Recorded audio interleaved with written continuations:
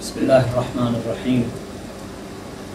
مبارك للإسلامية جمعاء وإلى شعب البحرين خاصة قدوم شهر رمضان المبارك.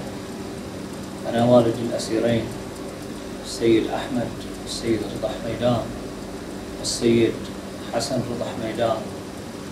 للأسف هذه السنة الثالثة لم يكن الولدين المعتقلين الأسيرين معنا في شهر رمضان. كان فيما سبق يتواجدان معنا في المجلس يتلوان القرآن وأما الآن فهما مغيبان في السجون. ندعو المولى أن يفرج عنهم فرجا عاجلا ونتمنى أن يحل الأمن والسلام في هذا البلد المبارك. والسلام عليكم ورحمة الله وبركاته.